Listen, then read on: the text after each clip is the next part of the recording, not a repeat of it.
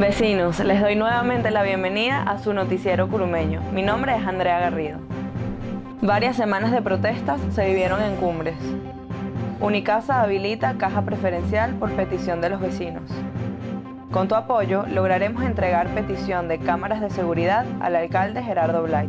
El 13 de febrero se iniciaron las manifestaciones en Cumbres de Curumo en contra de la violencia y las políticas del gobierno de Nicolás Maduro.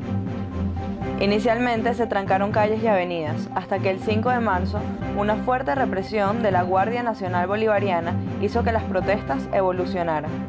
Desde entonces, la comunidad organizada se ha centrado en protestar contra los problemas que afectan a los vecinos diariamente, como la escasez, el mal servicio del centro comercial y la inseguridad.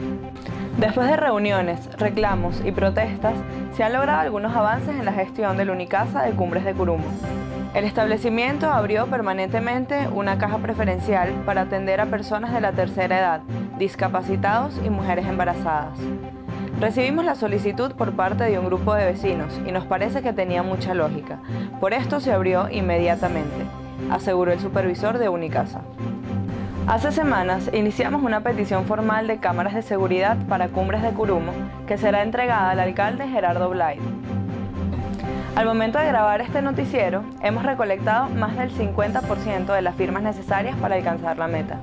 Si el alcalde acepta la petición, la instalación de cámaras de seguridad beneficiaría a todos los vecinos de la comunidad.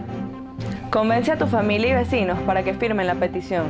Es nuestra vida la que está en riesgo. Sabemos que con tu apoyo lo lograremos.